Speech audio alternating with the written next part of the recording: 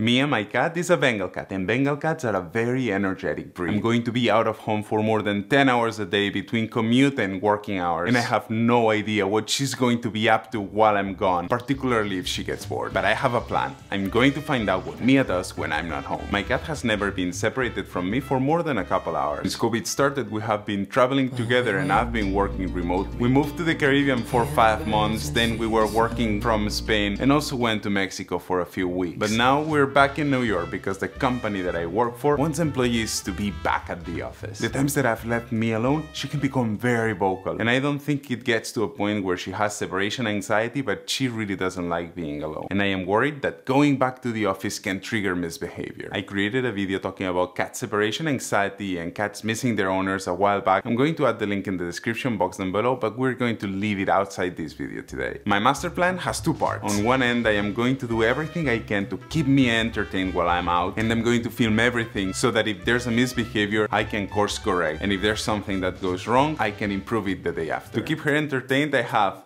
a fancy cat wall, as well as food toys. But I'm even more serious about learning the mischievous behaviors and plans that she has while I'm out. I'll be using the Eufy pet camera, I think it's the model D605, to seeing what she's up to. It's a really formidable gadget. It has an HD camera and an infrared system that ensures that the video is always bright.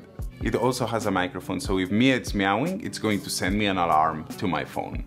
Mia definitely acts different when I'm not around and I want to make sure that she's drinking and eating while I'm out. And despite the Eufy camera has a 270 degree vision cam, it doesn't go through walls. So I'm going to use two cameras to make sure that I have my bedroom as well as the living room covered. And even with these two cameras working 24-7 thanks to the motion sensors, there are still dead corners in my house. So I'm going to attach a little tiny camera on Mia so that I know what she does when she's out of reach from the two Eufy cameras. To make sure that Mia has food throughout the day, I'm going to be using food puzzles. You put some kibble inside them and then close the door. In order to eat, the cat has to play with the toy and the food will be released little by little from a small hole that the toy has. Okay, it's already 7.30 and I need to go to work. I'm going to use some tricks to distract me while I hide the food toys and I'm coming back with you.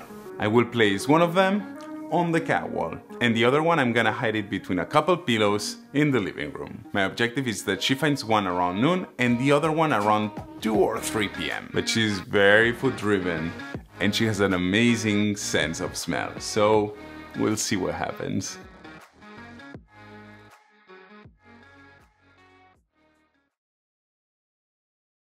I'm about to step on the bus and I want to make sure that the camera is filming and that Mia has not yet found the food puzzles. The idea is that they last all day, but she's a smart cat. And as I was saying, she might be out of food in just a couple hours. Everything looks correct so far, but I bet she knows I've hidden food. I'm sure she can smell it.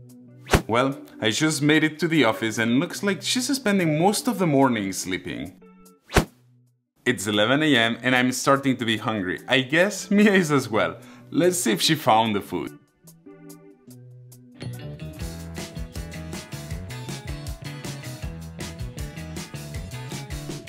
Oh, she's 100% found the food.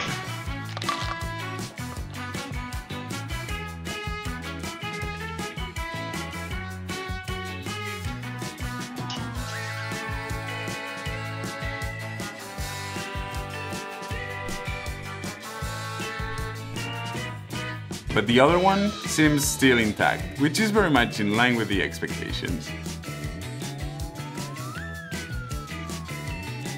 I really needed a coffee and to be honest, I also wanted to check on Mia. Looks like she has already woken up from her noon nap I think she's on the quest of finding the other food puzzle. And I'm still 6 hours from arriving home. Oh my god, this is so cool. I like to see what jumps look like from her angle. She's a total athlete, with her little paws and her little legs taking her everywhere. It also made me very happy to see that she drank a little. Hear this out.